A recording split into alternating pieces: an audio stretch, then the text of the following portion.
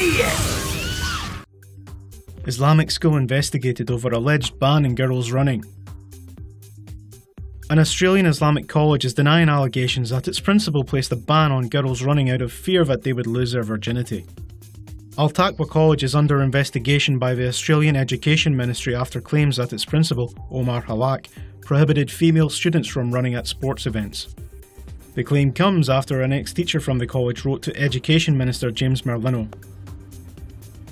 According to The Age, the teacher wrote that Hallak holds beliefs that if females run excessively, they may lose their virginity. The school has denied the claim, saying that female students at Al Taqwa College participate in all range of sporting activities. Follow us down the rabbit hole. Visit the TomoNews.net website or download the app today.